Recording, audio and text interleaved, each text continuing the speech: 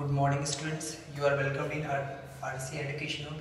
Today we are going to start a new topic that is types of roots. कि roots के कितने type होते हैं। इससे पहले प्रीवियस लेक्चर्स के अंदर अपन ने बात कर ली थी कि मॉर्फोलॉजी क्या होती है मॉर्फोलॉजी के टाइप्स क्या होते हैं रूट सिस्टम सूट सिस्टम इसके अंदर रूट के अंदर जो जनरल कैरेक्टरिस्टिक्स पाए जा रहे थे उनकी अपन ने बात कर ली थी। इसके अलावा रूट के अंदर कौन कौन से जोन्स पाए जाते हैं उनके बारे में अपन ने बात कर ली थी। तो today we are talking about types of root कि रूट्स कितने टाइप की होती हैं रूट्स को जो है कितने प्रकार के अंदर विभाजित कर रखा है। बेसिकली जो रूट होती है, उनको तीन टाइप के अंदर डिवाइड कर रखा है। Number one is tap root number second is fibrous root number third is adventitious root तो सबसे पहले हम बात करते हैं टैप रूट की।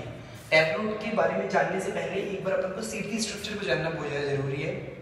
जो सीड जो होता है that is surrounded by seed coat ये जो इसकी सराउंडिंग होती है, इस स्ट्रक्चर को बोलते हैं अपन सीड कोट इसके अलावा ये जो दो अपन को सेल स्ट्रक्चर दिख रही है these are known as cotyledons बीच के अंदर जो स्ट्रक्चर दिख रही है अपन को that structure is known as embryonal axis इसको अपन एम्ब्रियोनल एक्सिस बोलते हैं.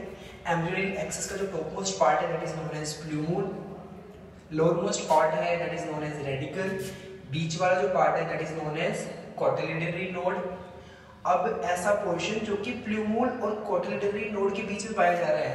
That is known as epicotyl और ऐसा पोर्शन जो कि कोटिलिडनरी नोड और रेडिकल के बीच में पाया जा रहा है। That is known as hypocotyl her part के जो है अलग अलग फ़ंक्शंस होते हैं। तो जैसे ही अपन ने सीड को खेत के अंदर डाल दिया है सीड को खेत के अंदर डालना that process is known as sowing अक्सर आप लोगों ने देखा भी होगा कि अपन जो है अभी खेतों के अंदर बाजरे की फ़सल डाल रहे हैं। बाजरे की फ़सल अपन ने डाली है। तो जैसे सीड को अपन ने खेत के अंदर डाल दिया है सीड जो है हल्का सा मिट्टी के अंदर चला गया है। Seed is absorb in water and minerals अब उसके बाद में जर्मिनेशन होता है। जर्मिनेशन होता क्या है कि सीड से जो है प्लूमूल और रेडिकल का निकलना। सीड से प्लूमूल और रेडिकल का निकलना that process is known as germination जैसे अपन जो है पानी के अंदर चने डाल देते हैं या फिर और पल्सेस डाल देते हैं, डालने के बाद अपन देखते हैं कि उनसे जो है वाइट वाइट सा एक निकलता है एक structure that is known as plumule radicle same उसी वे के अंदर, खेत के अंदर अपन ने सीड डाला है सीड से भी फ्लूमूल रेडिकल निकल रही है that process is known as germination अगर if the roots are forming by radicle if the roots are forming by radicle the roots are known as tap roots ऐसे रूट जिनका निर्माण सीड के रेडिकल पार्ट से हुआ है the roots are known as tap roots और इसके जो एग्जांपल्स हैं, इसके इसके एग्ज़ाम्पल के अंदर सारे के सारे डायकोट सीड्स को डाला गया है। मतलब कि ऐसे सीड जिनके अंदर दो कॉटिलिडन्स पाए जाते हैं, जो कि अपन को सीड के अंदर भी दिख रहे हैं। This is cotyledon number one and this is cotyledon number two ऐसे सीड जिनके अंदर दो कॉटिलेडन्स पाए जाते हैं, उनके अंदर जो रूट्स होती हैं these roots are known as step roots and these roots are forming by radicle ये रूट्स किससे फॉर्म हो रही है? रेडिकल से फॉर्म हो रही है. एग्जांपल्स क्या हो गए? जैसे चने हो गए, चने के अलावा सरसों हो गए ये चने, सरसों, ये सारे के सारे किसके एग्जांपल्स हैं? टैप रूट के एग्जांपल हैं। इसके अलावा अपन को सराउंडिंग के अंदर जो भी वेल डेवलप्ड प्लांट्स दिख रहे हैं बड़े बड़े जो भी प्लांट्स दिख रहे हैं these are also example of tap root tap root की इसके अंदर स्ट्रक्चर भी दे रखी है?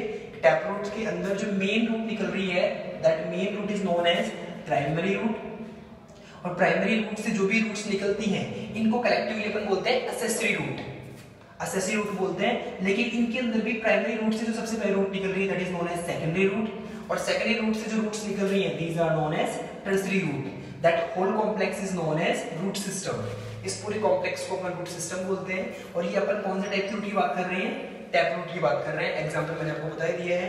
डायकोट्स जिसके अंदर चने को चने इसके अलावा सरसों ये सारे के सारे इसके एग्जांपल हैं। इसके अलावा जो पल्सेस होती हैं all pulses are example of tap root इसके बाद में हम बात करते हैं फाइब्रस रूट फाइब्रस रूट के अंदर एक्चुअली होता क्या है कि रूट्स तो स्टार्टिंग के अंदर रेडिकल से निकलती हैं। सीड का जो रेडिकल पार्ट होता है, उससे निकलती है। सपोज़ दैट यहाँ पे अपन सीड सीड के रेडिकल पार्ट से रूट निकल गई है that is known as primary root but after some time जो ये प्राइमरी रूट है दिस विल डिस्ट्रॉय ऑटोमेटिकली जो है ये रूट डिस्ट्रॉय हो जाती है और डिस्ट्रॉय होने के बाद में जो का बेसल पोर्शन होता है बेसल जो पार्ट होता है, इससे बहुत सारे रूट्स निकलने लगती हैं। बेसल पार्ट से बहुत सारे रूट्स निकलने लग जाती है and that type of roots are known as fibrous root इस तरीके की रूट को जो है अपन फाइब्रस रूट्स बोलते हैं। फाइब्रस रूट के अंदर क्या हुआ है कि स्टार्टिंग के अंदर तो रूट रेडिकल से निकल रही थी, उसको अपन ने प्राइमरी रूट नाम दिया। But that primary root is destroyed after some time and there are many more roots are emerging from the base of stem stem के बेस से बहुत सारी रूट्स निकल रही हैं।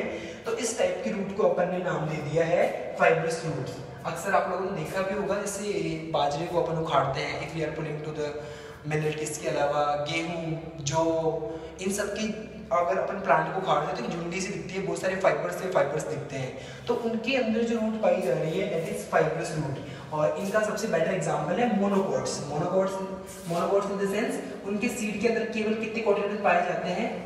एक कोटिलेडन पाया जाता है। ऐसे सीड जिनके अंदर एक ही कोटिलेडन पाया जाता है the seeds are known as monocots and the monocots are example of fibrous roots जितने भी मोनोकोट प्लांट होते हैं, सबके अंदर फाइब्रस रूट्स पाई जाती हैं और सराउंडिंग के अंदर अपन को अभी जो भी क्रॉप दिख रही है, जिसके अंदर अपन ने ज्वार बो रखी है, बाजरा बो रखा है, इन सब के अंदर जो रूट पाई जा रही है, कौन से रूट है?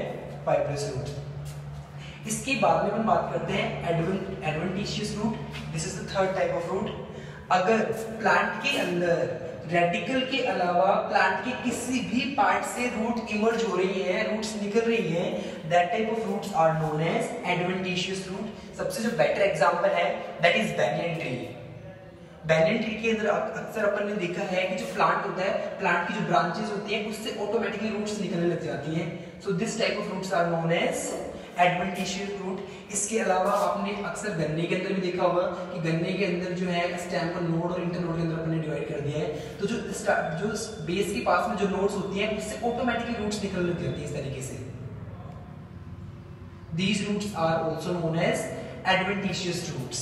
फिर से एक बार रिवाइज कर रहे हैं। टैप रूट के अंदर अपन ने देखा है if the roots are emerging if the roots are originated from radicle the roots are known as tap roots examples are dicot बात करते हैं fibrous root if the roots are emerging from radicle but after some time the roots are destroy and new roots are arising from the base of stem. The roots are known as fibrous roots. Example are monocots.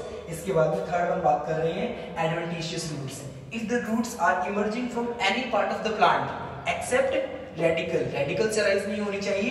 बाकी के चाहे किसी भी part से हो it doesn't matter the roots are known as adventitious roots इसके example जो है अपन को गन्ने के अंदर भी देखने को मिलते हैं शुगर कैन के अंदर। इसके अलावा जो है, ये बैनियन ट्री और भी बहुत सारे प्लांट्स होते हैं, जिनके अंदर अपन को ये रूट देखने को मिलती है। Okay thank you